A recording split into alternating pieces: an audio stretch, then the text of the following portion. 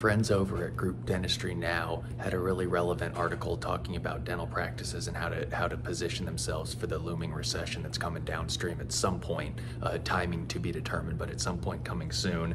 And I thought there was a couple interesting things in the article that kind of jumped off the page at me that I wanted to highlight.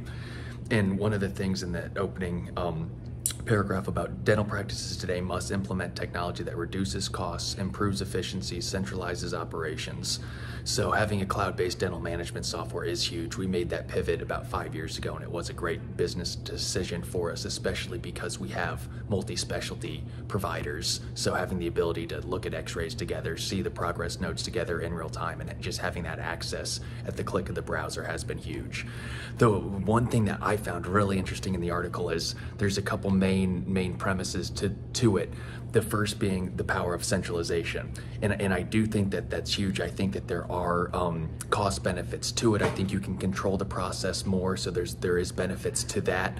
Um, the thing that I find interesting though is that's been very hard to do with the labor market that has been around since uh, the pandemic and even before that the pandemic. So I, I, I, think it's interesting now that some of the the philosophy or, or, or, think is to go back to centralizing that power that had been decentralized and outsourced. Um, kind of at the start of the pandemic when the labor market kind of left and really hasn't rebounded. So I found that to be interesting. We try and centralize as much stuff as we can here at Ladd Dental Group, but we are a group also that outsources outsources things too. So and, and the second big part of the page is uh, article is knowing when to outsource. So again, they still do talk about it. I just I find it interesting that the whole philosophy of the last couple years is to be able to outsource basically everything that you can given the disruption in the labor market. So I, I, I, find it interesting that this recession might bring some of that back. And I do, side note, think the looming recession is going to help the dental labor market in a major way. So we'll see if that if that actually plays through. But that is my opinion. Um, is that I, I do think the the recession. One of the the few good things about a recession is it historically it does tend to increase labor participation.